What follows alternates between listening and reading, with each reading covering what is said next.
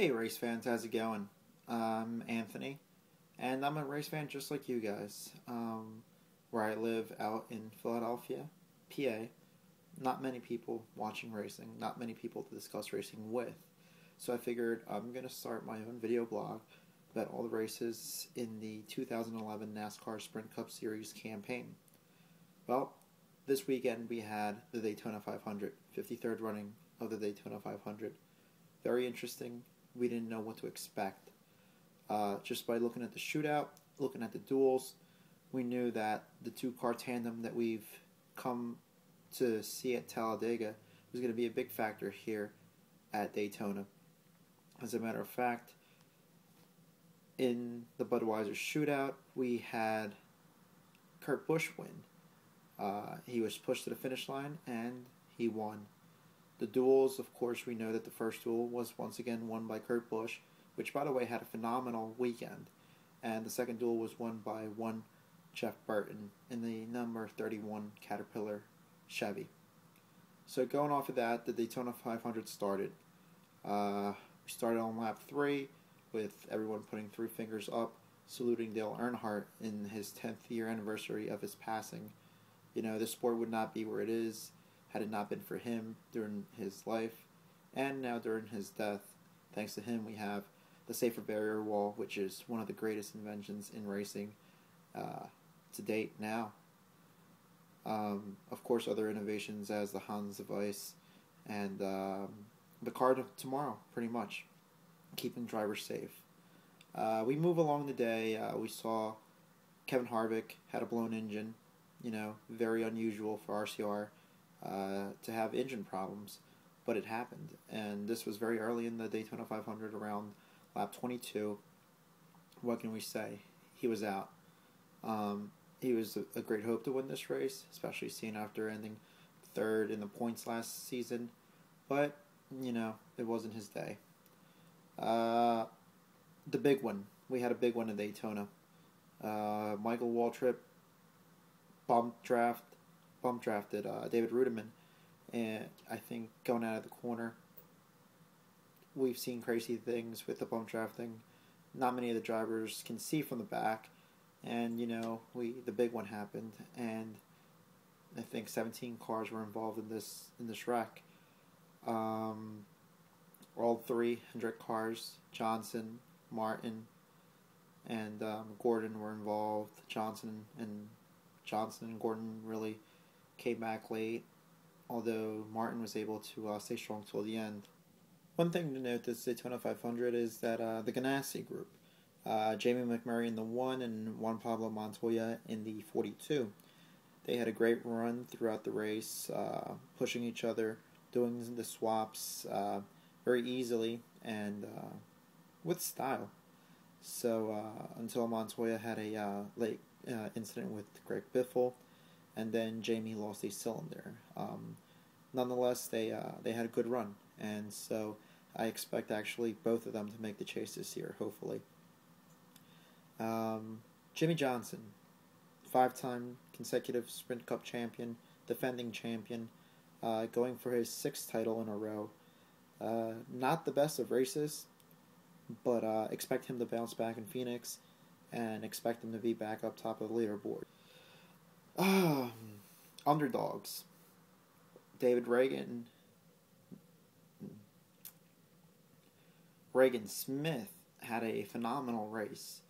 Uh, it seems like this guy pretty much knows how to get around super speedways. We saw a couple of years ago uh, when his when he was disqualified from winning the Daytona 5, uh, the Talladega. Uh, 499 for going underneath the yellow line, hence giving the uh, victory to Tony Stewart. Um, he he raced pretty good this this time around, and had it not been for the last uh, last minute caution, he would have been up there challenging for this lead. Um, towards the end of the race, rookie mistake, David Ragan. Um, feel bad for the kid. Kid, he's my age. But, you know, I guess nerves got into him and he ducked down into the inside line before the start finish line. And as the rules have it, he, he got black flagged. Uh, now we go to uh, one Mr. Trevor Bayne. Uh, he was great in qualifying, qualified third. Uh, Jeff Gordon decided to, you know, draft with him. Uh, and, and like he says in many of his interviews, um, I guess Gordon gave the confidence to the rest of the drivers in the garage to uh, work with him. Great pusher all day. And at the end of the day, he was in the mix. We went into overdrive. NASCAR's new rules as of last year three uh, green white checkers to see who who wins the race. Uh, Bobby Labonte driving the 47 JTDG Daugherty Toyota gave him a great push towards the end. And um, once Trevor saw saw the light, there was not no one can get him. Uh, another underdog, David Gilliland. David Gilliland helped Carl Edwards push him all the way up. Carl came very close to winning this 500. But uh, in the end, Trevor uh, Trevor raced a, a good race. It's nice for the sports scene that a 20 year old can win in a current under underfunded team. Um, it shows it shows that you don't need to be to, to be a Hendrick or or Gibbs or an RCR to uh, to win these races. Yes, we understand that these races can be a wild card super speedway races. You know, most of the drivers don't like them. Some do, but overall, the Daytona 500 this year I think was a great success. I personally like the uh, the two two car tandem, the two car two car dance, as we may have it. Um, it, it does give the uh, the idea of what drafting is. You know, doing the slingshot, kind of like a Formula One move. Many people were referring it to back in the day. That's how they did it. I personally enjoyed it, and you know, just because we had this, we, we still had the packs at the back, so it was a race. It was a race to watch. It was a race to enjoy, and uh, we'll see what comes from this. Um, Trevor Bayne, 20 years old, second start in Sprint Cup race last year in Texas, had a great finish there. This year, you know, limited schedule in the Sprint Cup. Uh, he had checked off the box for Nationwide Series, and you know he, he still needs to be developed. Hasn't won a uh, race in Nationwide, but now he won the Great American Race, one of the most important races in America. What was known about Trevor Bayne before before now him being famous?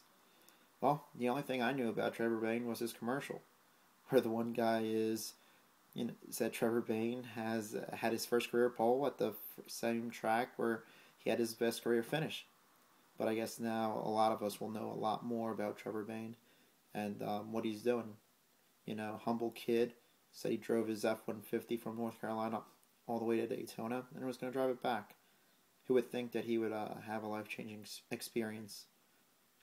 Uh, nonetheless, great race.